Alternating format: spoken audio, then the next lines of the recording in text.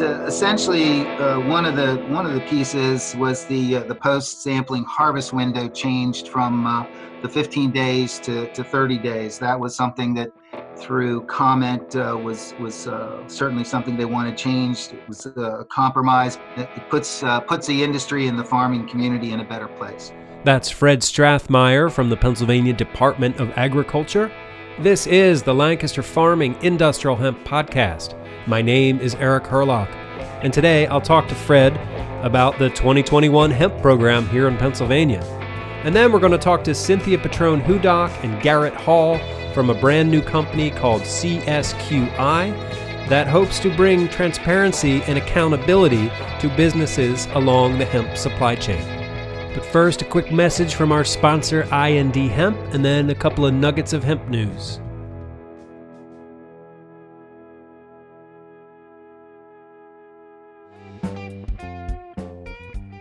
Are you using hemp seed oil in your CBD tinctures and topicals? Are you looking for a consistent, reliable, high quality American grown and processed hemp seed oil?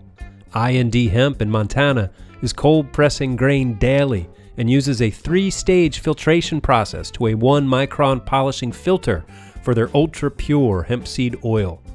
Ultra pure hemp seed oil has consistent, superior clarity with no sediment. 5 gallons or 5,000 liters, you can confidently source what you need at indhemp.com.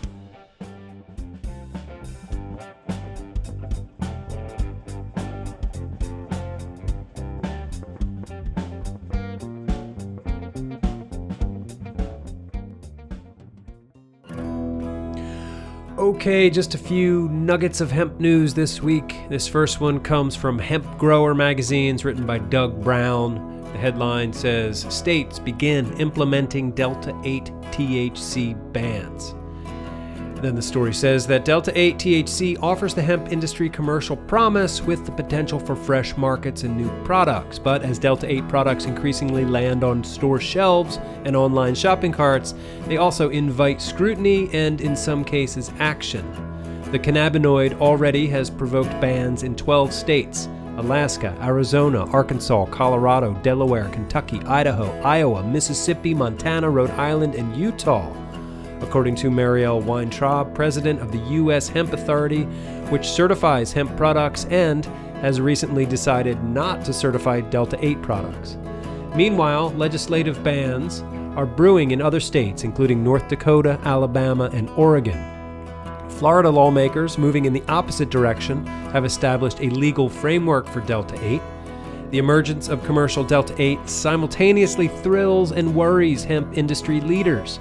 Prior to Delta 8, no hemp products got people high. All right, here's another one. This one is from sourcingjournal.com. It's written by Arthur Friedman. The headline says Wrangler parent expands hemp collab with Panda Biotech. Who writes these headlines? Anyway, so the story says Kontoor Brands Incorporated, with a brand portfolio led by Lee and Wrangler, announced an expansion of its collaboration with Dallas based Panda Biotech, an emerging leader in the industrial hemp fiber industry. Kontoor Brands and Panda Biotech will work to bring traceability and scale to the textile grade cottonized hemp grown and processed in the United States. Yeah, this is great news. I like it. I've reached out to Panda Biotech a couple of times over email, but they have not responded to me. So if you're listening down there in Texas, come on, give me a shout.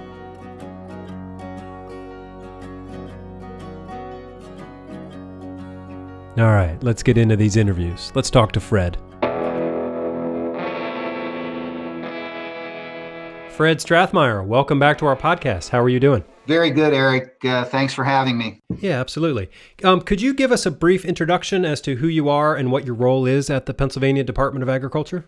Sure, Eric. Um, I'm a deputy secretary at the Department of Ag. Um, I oversee uh, bureaus, work with bureaus such as dog law enforcement, uh, horse racing, uh, Hardwoods uh, Development Council, uh, and weights and measures, amusement rides, and the reason we're on the call today, plant industry. Okay. Uh, let's just talk about amusement park rides. No, I'm kidding. Let's talk about hemp. So, how are things looking from your point of view, hemp wise, this year? Um, very good. Uh, we're, uh, you know, once we got uh, through the, the uh, pandemic and th- all through the uh, the pains and the challenges that it created, uh, this year has gone very smoothly. we we stopped taking applications in early April. we ended up with 417 growing permits and 60 processing permits.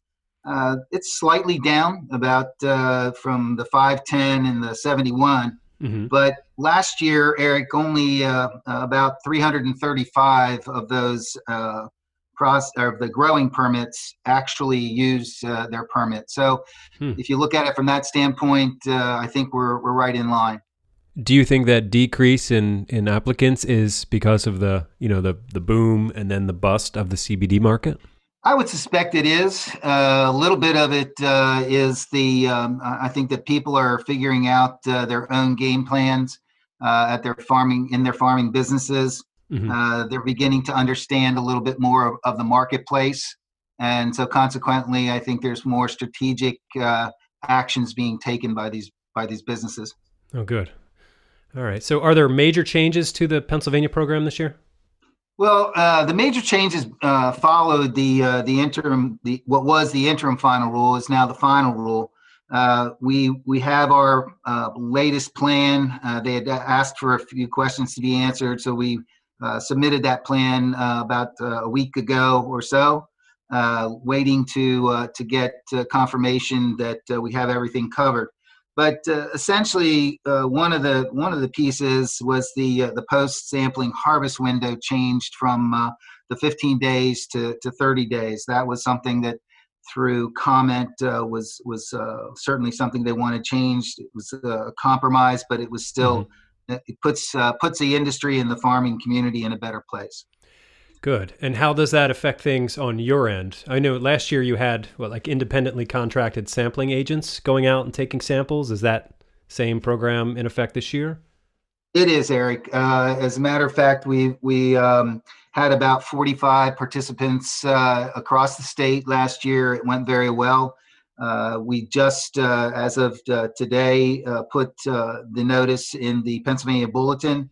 Mm-hmm. So once uh, we get through that process, then we'll start taking applications for these certified hemp sampling program agents. again, just like last year, there's training needed. there's a certain score that's required. Um, those sort of things stayed stayed in place and again, we we learned from last year, so we uh, added uh, different uh, pieces of training to to the uh, entire program. So uh, again, following things that have been required through the hemp final rule. Okay. Is the department doing anything in particular to strengthen the fiber and grain side of the hemp industry in the state? Well, uh, one one of the, uh, the, the good things for us is that uh, in the Department of Markets, gentleman by uh, the name of Phil Stober has gotten involved very much so. Um, he is uh, in, in charge of the economic development uh, that comes with uh, the uh, marketing uh, group that we have at PDA. And he's been working a, a, lot over the last several months with particular groups, individuals, um, and, and the like uh, we've got a meeting coming up uh, in the near future, uh, actually, with the uh, Lebanon County uh, Economic Development Group. Hmm. So, uh, looking forward to that call as well. All right. What kinds of projects are you working on? Well, primarily right now, they're, they're, we're trying to work on the you know the textiles, the bioplastics, um, clothing, boiling down to like you just asked about the fiber ends of things uh, we see this as uh, something that we can expand on, uh, certainly less controversial, and something that we feel that the state can move mm-hmm. on today, as opposed to you know having to wait for uh, any kind of federal action uh, around CBD, for instance. Right. Are there some notable projects that you can talk about? Well, there is a project that uh, that we've partially funded out in Western PA with Don Enterprises uh, where they're going to be retrofitting a, a house uh, with uh, hemp products from hempcrete to hemp insulation. uh, flooring, uh, and the like. Right. Uh, so we're, we're, real happy about that. Uh, there's a couple other projects a little closer to home over in Berks County, uh, similar types of use of fiber for construction. Mm-hmm. Uh, so yeah, very happy that, that these uh, projects are finally finding their way uh, to the mainstream. Yeah, right. So you're talking about Drew and Anna over at Coexist Build in Berks County. I am. Yeah, I was out there a few weeks ago. They're doing some great stuff. Uh, we're yeah, we're real happy. Like I said, that uh, you know we're several years, as you know, into to our our hemp program, and uh, it seems to be evolving very well. Okay. Um, how about like on the grain side? I know you know there's Josh Lydecker up in uh, where's that Lycoming County. He's he's a grain yep. grower. Um, yep. Is there are there other growers out there or other businesses that are, are trying to get in on that? Um, was it Kreider Farms in Lancaster County is talking about some kind of like hemp fed egg? I'm not sure if that's out on the market or not yet. Uh, it's not. Um, so all those anything where uh, you're feeding something to an animal has to go through a process right. as i think you're aware yep. uh, the approval has to come through uh, fda and uh, and through uh, AAFCO ultimately to to be uh, allowed to be fed to to the animal population and each one of those has to be individually if you will uh, different segments have to be tested uh, individually because what might be good for one may not be good for another. Right. So uh, it, it again, it still needs to go through the process. Uh, but yes, there is is a lot more um, interest, and, and again, we're here to support as much as we can. Right. Yeah. Once that opens up, it's going to be a great opportunity for hemp growers and for you know livestock farmers. Correct. Yeah. I mean, you can feed hemp to your kids, but not to your chickens. But whatever. Yeah. Um, this past year, there was a lot of talk and whatever of Delta 8 THC in the hemp industry. And it seems that like a lot of CBD growers are taking advantage of this murky legal status of Delta 8 as sort of a way of selling what is essentially pot. Like, do you think this hurts the overall hemp brand or the program, or what are your thoughts on that? Well, again, I think that uh, what they found is a little bit of a loophole. Mm-hmm. Um, it has been discussed, um, you know, both at the state level and the federal level. Um, technically, it's it still is illegal. Um, you're getting you're going to hear different uh, points of view, but uh, boils down to, uh, from what we understand, that the federal level, it's still part this falls into the category of uh, controlled substance, right, right. Uh, and therefore it would be illegal. Mm-hmm. So, right. Yeah, I went to the cannabis festival in Kutztown last week, and I was just surprised by how sort of, you know, I don't know, open all of this Delta Eight stuff was. It was a shock to me, and I didn't didn't think it's really. I don't know. I don't. I personally don't think it's good for the hemp brand. I think that's sort of dangerous territory. Right, and uh, there have been instances around the country, and, and it's been spoken to that uh, people have have had really bad results from uh, ingesting this type of material. So, mm. yeah, we're caution to the wind on that one. Right. And I guess slightly related is you know there's all this talk in the state you know between the lieutenant governor and then the um, the senators uh, Laughlin and Street about a, a recreational program, and they they all say that it's going to be good for farmers uh, I understand how it's going to be good for the economy, but necessarily good for farmers, I don't know. What are your thoughts on that? So I think that uh, Eric, you you and I are both aware that you know some people got into this hemp uh, uh, program uh, with some something else in mind. Mm-hmm. Um, again, uh, as as a whole, I, I, don't know that it's uh, good for our farming community. there's going to be a lot more involved than I think that people realize. Uh, it's not. Uh, I suspect uh, from what we've seen in other states, it's not going to be the Wild West. Uh, so I'm just not sure that that uh, that uh, you know from the farming community standpoint that it's going you're going to see the the boom from from this particular mm-hmm. recreational conversation. Right. what I'm what I'm very comfortable in saying is that it it and as you you brought up already is the you know this tendency now to turn more towards the the feed and the fiber side of and the industrial side of of hemp uh, because again, we we look at this as uh, non-challenging and uh, this kind of the sky's the limit. Mm-hmm. Uh, it's it's working with and getting manufacturing and processing in those channels uh, opened up here in the state. Right, right. Yeah. Um, how about the Pennsylvania Hemp Steering Committee? Um, I know you've been working with them. Um, how, like, what sorts of things have you learned from that committee that, like, you wouldn't have known about otherwise? Well, first and foremost, I agree that uh, the, the, the steering committee uh, from the leadership from Dr. Kander has been uh, absolutely outstanding. Um, they bring up uh, different topics that uh, they run into, uh, whether statewide or nationwide. And so, just having that uh, that kind of uh, resource, uh, the wealth of knowledge that that all these individuals are bringing through their businesses, but now sharing in in this in this particular forum as a steering committee, has has nothing more than things to be gained for for the state. Mm-hmm.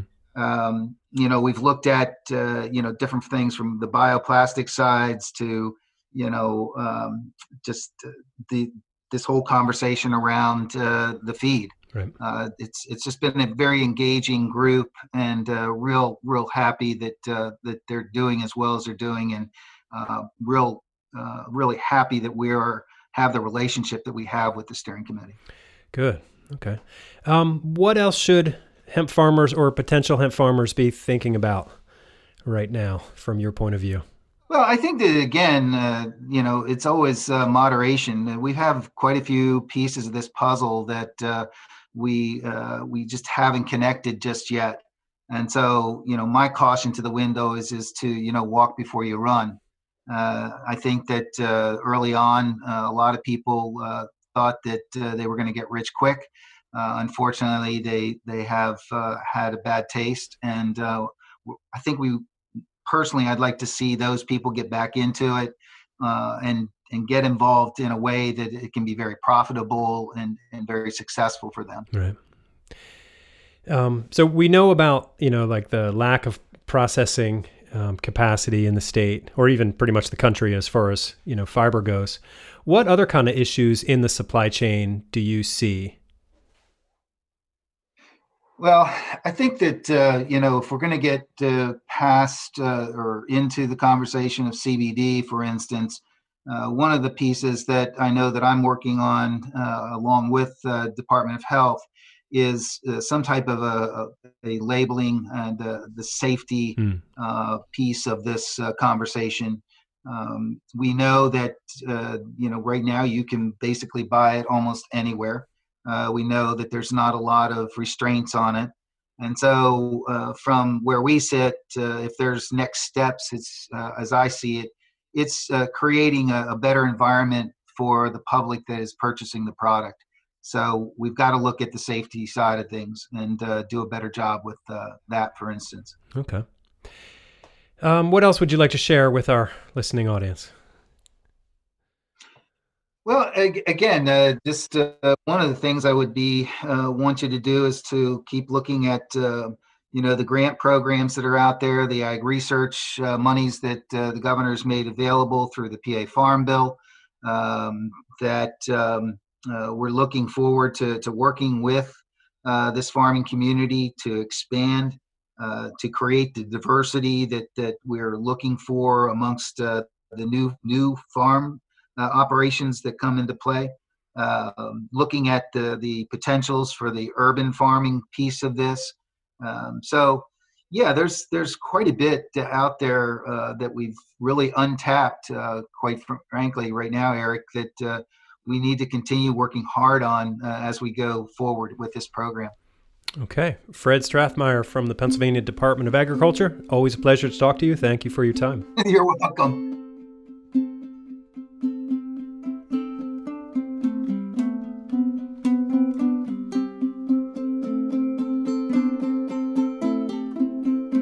All right, before we get into our interview with Cynthia and Garrett from CSQI, I thought we'd have a couple of words from Kentucky Senator and Senate Minority Leader Mitch McConnell. Industrial hemp.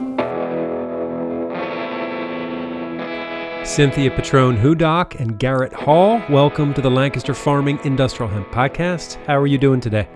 Great, thank you. Thanks for having us, Eric. Doing well, thank you. Yeah, absolutely. All right, Cynthia, you've been on the show before. The first time was back in 2019. You and your farming partner, Jamie Hicks, uh, joined me here to talk about hemp alternative.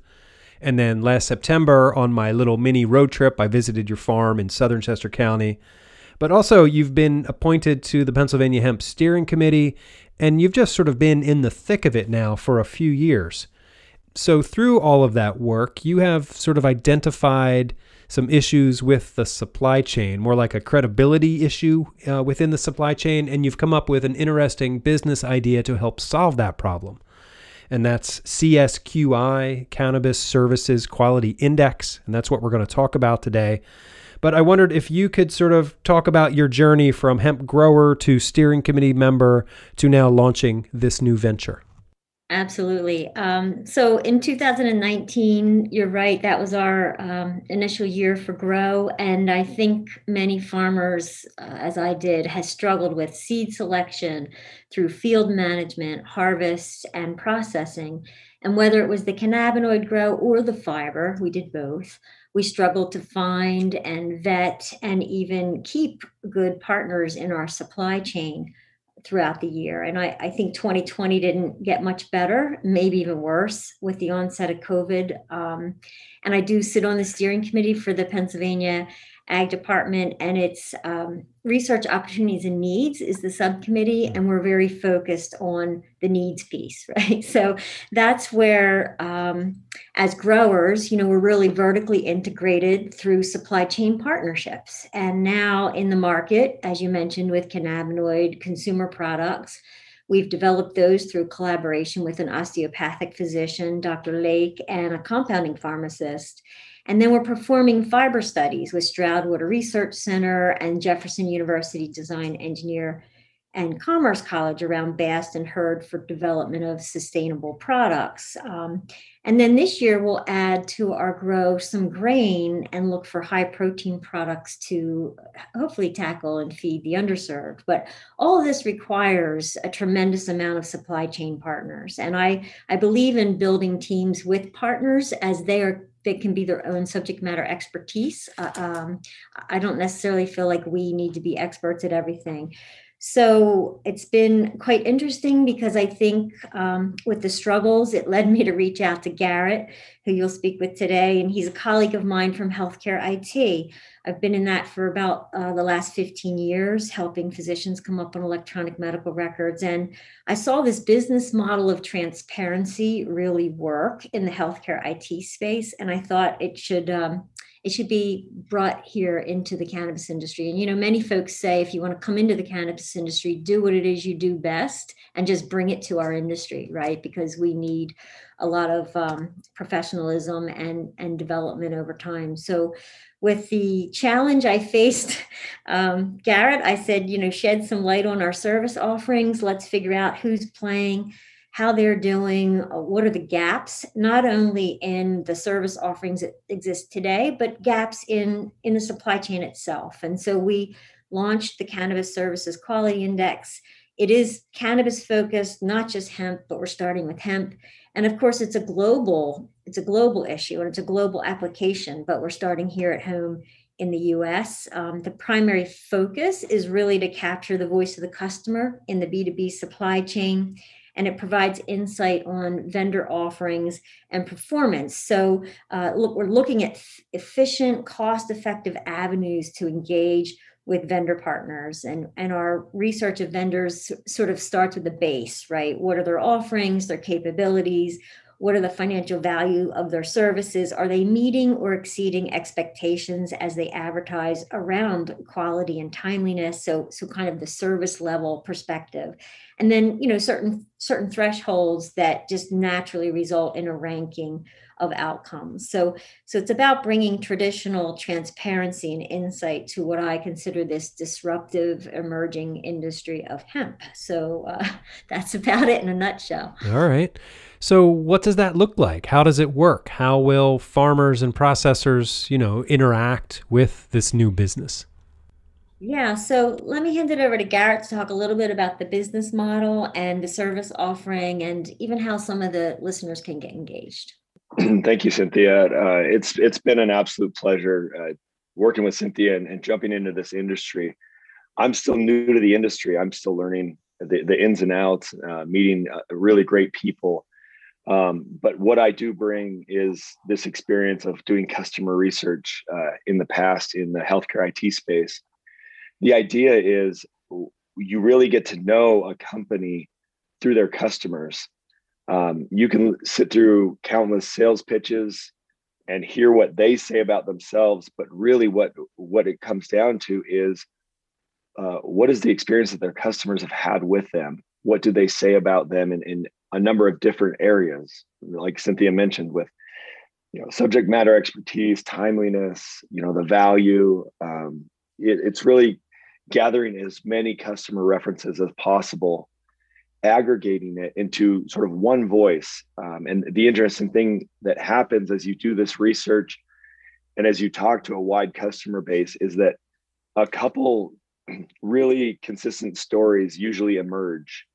Um, and, you know, so they can be good stories, they can be negative stories about the experience that the customers have had, but but it, it becomes very apparent um, you know if there are any gaps with a co- company you can learn that. And then so our whole goal is to talk to as many customers of of these supply chain vendors as possible to gather this feedback. It's all anonymous so you know we don't put a name on it but we just aggregate it all and then we're producing reports um, and and a directory so that um, you know going back to to cynthia's issue as a grower when when she's looking to find a partner to help her process or test um, the idea is she can come to us and look at the data that we've collected. And it's like it's like talking to you know 40 or 50 different peers but she doesn't have time to do that. And so we're essentially doing all that legwork for her um, to help her make a more informed decision. And, and Eric, I have to say, um, just with processors alone for 2019's biomass, I, you know, I've always said I had to kiss like 14 frogs before I found the, the 15th that was the prince.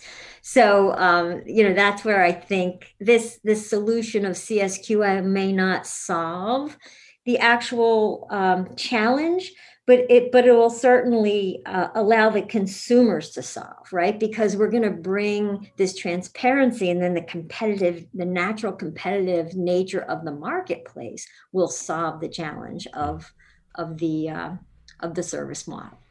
Okay. So it's like consumer reports but for businesses along the hemp supply chain. That's right. Mm-hmm. yeah. Yeah i think that's fair and it can okay. be a b2b or it can be a b2c right? Um, so so and then remember a lot of product companies we're not evaluating products but pro- a lot of product companies have services they offer. So we will be evaluating services. Okay. So let's say i'm a, I'm a hemp farmer and i'm trying to find somebody to process my four acres of cbg and i want to get a distillate made or something. So i would look at your directory and i would see all of the different processors in my area, and then I would see what their customers have said about them and what it was like dealing with them and working with them. And I would then be able to make a more informed decision as to who I should get to process my my flower. Right, right. The idea is um, is you'll be able to see not only the capabilities that we've validated, right? So uh, we'll talk to other customers that say, yes, we have used them for X, Y, and Z. And so if we validate enough of those capabilities, then we will list that as, as an, a, a, true offering uh, okay. that they can provide.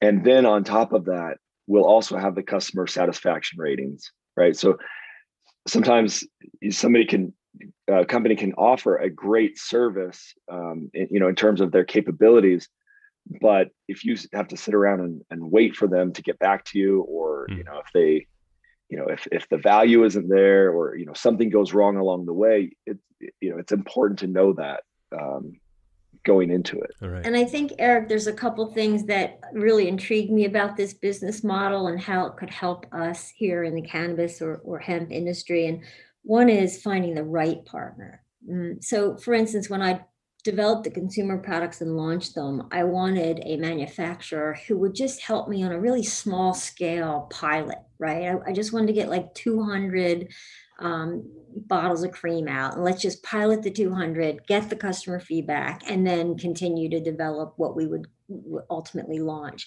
And so, you know, at, at this point, that's the right service vendor for me. And then eventually i'll want to scale and, and he won't fit the bill right? And i'll need to come back and sort of figure out okay who, who am i going to partner to scale with?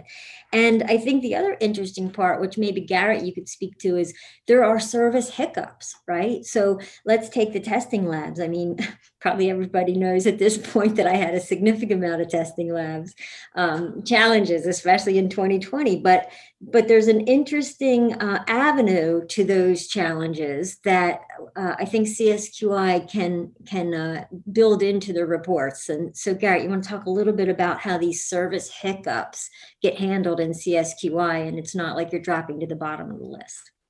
Right. So the idea is we want to we want to help the the grower, um, but we also a byproduct of this is that we want to really raise the bar for the whole industry. Um, so we, when we get feedback and we, we get a reach a certain threshold um, to really provide a, a consistent, a, a, strong story about a company, we also want to work with that company to say, hey, you you may be aware of this, you may not be aware, but here's what 15 of your customers have said about you and you know we've identified the following gaps we'd like to work with you to overcome those gaps so that future customers don't have those problems. Okay. And so we want to help, eh, you know, we want to help the whole industry kind of reach a new standard. And we do that by by consulting and, and really just kind of almost holding a mirror up to, to some of these companies to say, here's how you're perceived, good and bad. And and it, you know, if there are gaps, we want to help you um, improve the, that service or uh, or say look you you only do the following uh, you know you only provide the following services but we've heard from our customers that they want something in addition to what you're providing so if you want to stay strong in the market you may you may want to consider expanding your offerings otherwise you may be left okay. behind and and i think uh, one quick follow-up so I'll give you an example with the lab specifically. You know, I had three separate lab partners. Two of them had, well, all three of them had problems, but um, when they did have problems, only one of the three really rose to the occasion and um, came out to my farm, redid the tests. You know, it was above and beyond the call of duty to resolve my conflict. And okay so it's not as if sort of oh they had a hiccup so they fell to the bottom of the list in terms of my my uh, rating in, in my mind the one out of the three that actually came in and gave me the level of service that i expected to to fix their mistake right. uh, actually gets a it's a great score right? So yeah. think of it that that way is there will be a lot of service hiccups because these organizations are new to the hemp industry or to cannabis in general. And so um, it's just a matter of then being able to show based on the customer's uh, response how um, whether i would recommend them or not and I, and I would right? Okay Right. So I don't know if it's because this industry is so new or because some of it comes out of like a shady black market marijuana space, but there's this like flakiness sometimes in like I hear stories from people a lot, you know, dealing with different vendors or whatever. But so what you're intending to do is bring like an accountability to the industry that's not currently there. Yes. Yeah. Okay. Um, how do you intend to get all of the information from the farmers? Yeah, great question. So that can happen a number of different ways. Uh, so number one, we we have a network of growers that that we currently work with that you know have already provided feedback for us. Um, and just to go back really quickly to answer a, a, previous question about you know the website or you know where where people access this information. Um, at the moment, we're just collecting all of the data um, at the end of the year, we're going to unveil these these ratings. Um, we're going to publish a report. We're going to um, you know, kind of turn the turn the key on the website and and let everybody know what data we've uh, you know we've mm-hmm. gathered that you know throughout this year. But right now, we're we're heavily in the data collection uh, phase, and so we do that by reaching out to the the growers that we know that we have a, a you know a network with. Uh, we are partnering with different associations who have members that will benefit from this. Um, they're asking their members to uh, complete our survey and provide feedback on the vendors that they've used. And then we also engage directly with vendors who will provide a client list to us.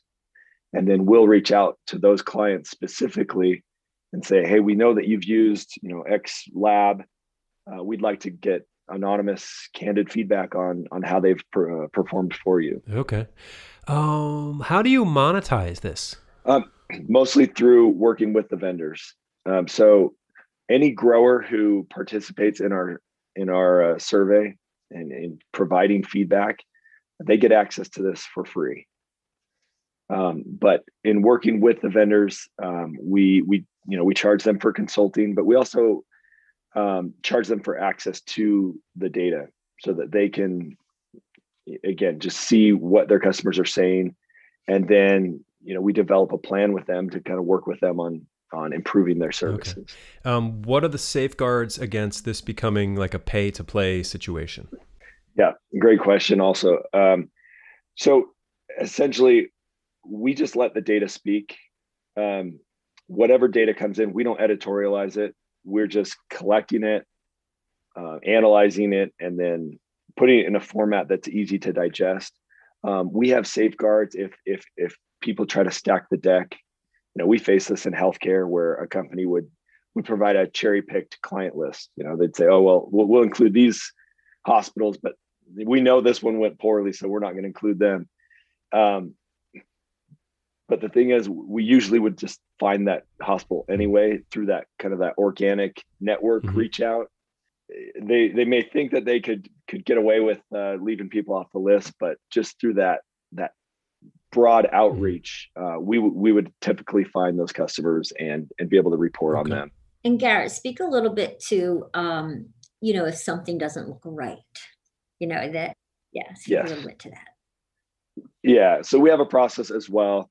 Um, we we monitor all the data that's coming in, and you know we just have safeguards in place that if something doesn't fit kind of the normal process of data influx, then it gets immediately flagged. So that could be if we get a big influx of really positive data or a big influx of really negative data.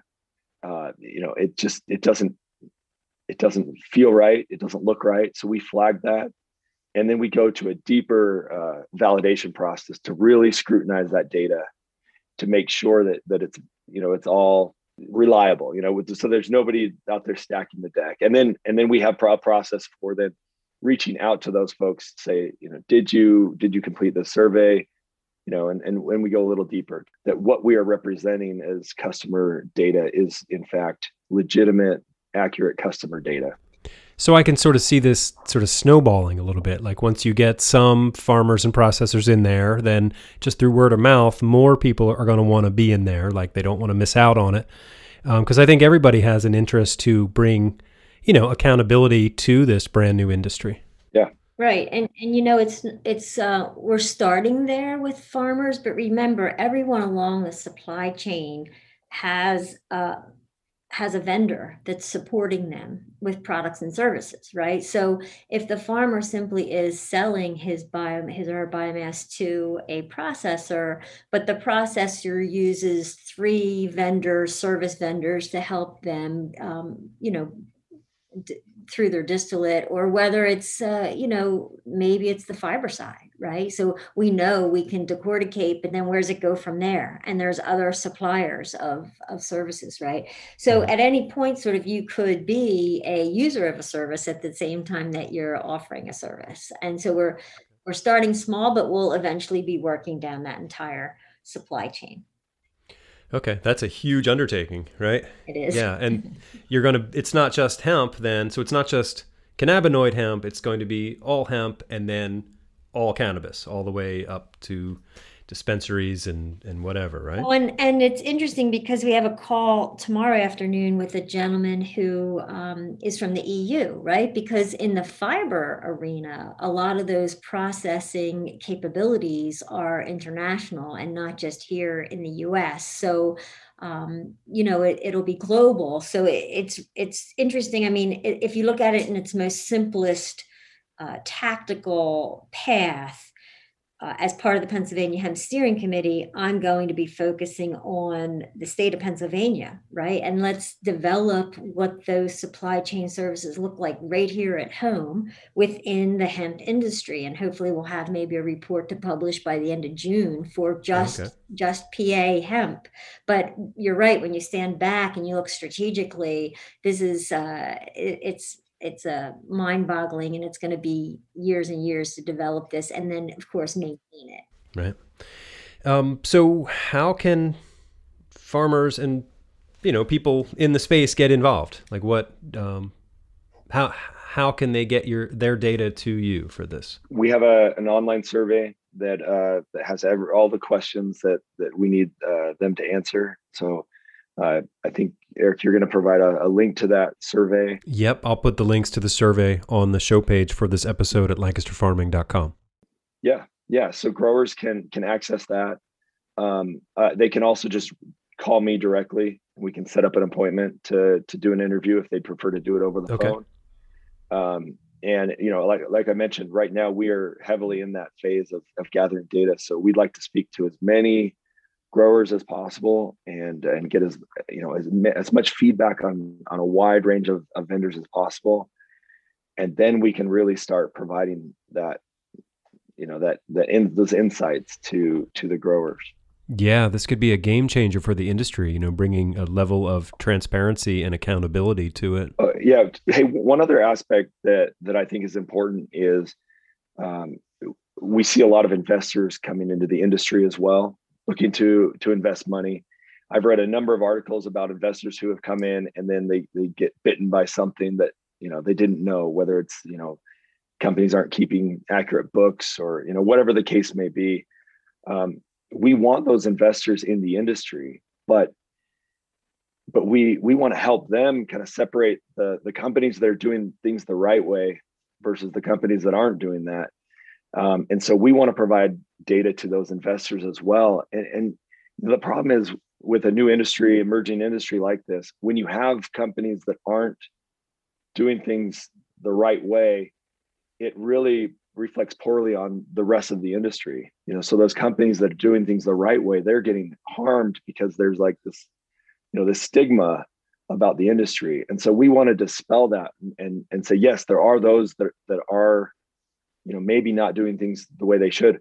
We want to call that out but at the same time we also want to highlight the companies that are really doing a great job because we want those investors to come in and feel comfortable that they they understand the industry and they understand that there are some really really great companies that are worthy of investment. And you know, I think the other piece to point out is, you know, it's a it's a heavy lift to even even gather the data on the processing or the service suppliers, right? In mm-hmm. general, all service suppliers. So whether it's labs or um, even the, the manufacturing organization. So we are gathering material, we're taking a look at websites, we're speaking to these um, service suppliers in the in the chain and we're we're kind of developing out that directory. So that's another initiative underway. So one is sort of okay let's gather the voice and who these farmers and processors and and folks are using for their supply chain services. And then it's actually speaking with the companies and understanding sort of the total picture of their offering. And uh, so it's it's a parallel track basically. Right. okay yeah and, and we would love for those service providers to reach out to us as well so that we can start a dialogue and, and start working with them okay why don't you give us the phone number so folks listening can jot it down yeah yeah my phone number is 435 668 7496 Okay, four three five six six eight seven four nine six will get you right to Garrett Hall at CSQI. Um, how about an email address? Sure. Uh, it's Garrett Hall, G A R R E T T, H A L L, at csqindex.com. Okay, I will list that along with the phone number and the links to the online surveys at the show page for this episode at lancasterfarming.com. I think this could be really good for everybody in the industry, and it looks like you're off to a great start. So, congratulations on that. Thank you. Yeah, I wish you great success in uh, in this endeavor. Is there anything else you want to add before we go? No, I think it's been terrific. Uh, happy to come on anytime and talk about all the wonderful things we're doing as we push forward and stay very bullish on hemp. Yeah, bullish on hemp. I like that. All right, well, Cynthia and Garrett from Cannabis Services Quality Index, CSQI, thank you both for your time today. I appreciate it. Thank you, Eric. Thank you. Thanks for having us, Eric. Oh, there's the music. I guess that means the show's over. Thank you very much for listening to today's show. Be sure to go to lancasterfarming.com and click on those links to fill out the survey for CSQI and check out those news nuggets and also uh, go visit our sponsor, IND Hemp. My name is Eric Hurlock. I am the digital editor at Lancaster Farming Newspaper, the greatest agricultural newspaper in the world. You can always get in touch with me by email. Send it to podcast at lancasterfarming.com, or you can call me up and leave me a message at 717 721 4462. Thanks again for listening to today's show. If you want to hear more about our road trip that's coming up, just drop me a line. I'll tell you all about it. And be sure to tune in next week because, fingers crossed, I'm going to be talking to Janet Burns. She's a writer, she writes about hemp and all kinds of cool stuff. It's going to be a fascinating conversation. Okay, thank you. Goodbye. Until next time, I'll see you in the newspaper.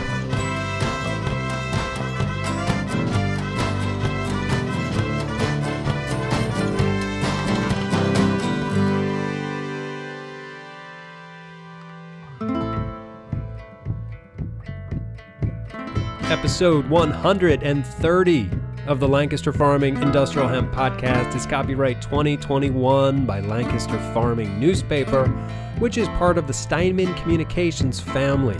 Today's show was written and recorded, edited, and produced by yours truly, Eric Hurlock. The music you hear throughout the show is courtesy of Tin Bird Shadow.